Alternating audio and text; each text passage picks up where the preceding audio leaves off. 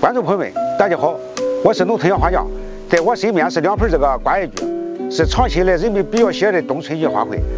它每到冬天开出这个五颜六色的花来。有位朋友吧，每逢佳节他买上这么两盆吧，回去以后掌握了他这个生活习性，不是不开花，就是这个烂根死亡的现象。怎样来养好这个瓜叶菊，今天我给大家分享几点。首先是光照方面，瓜叶菊虽然喜光，但是这个炎热的夏天这个光照必须得给它遮阴。这个春天和这个冬天必须就让它接触这个全光照。你冬天没有光照的情况下，它这个茎杆长得很长，影响这个整个植株的这个美观。施肥方面，瓜叶菊比较喜肥，你冬季开花的时候吧，你可以给它用点这个薄肥，用这个硫磷酸二氢钾，给它进行这个喷洒或者是浇灌。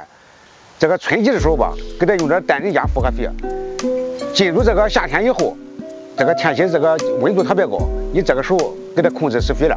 因为它要进入休眠期，这个栽植瓜叶菊，它这个土壤比较稀薄，你可以用这个含有机肥多的这种，保证这个土质的透肥性强。给瓜叶菊浇肥，你必须得见干见湿，特别这个冬季，盆土不是很干的情况下，你都不能过于浇肥。假设干了，你都这个浇都浇透，不能浇这个半截肥。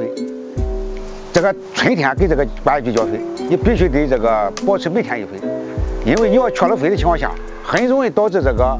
整个植株这个叶片萎蔫的现象，假设在浇上肥的情况下，它也恢复不了原来这个状况。好了，关于这个瓜叶菊养殖方法，我就给大家介绍这些。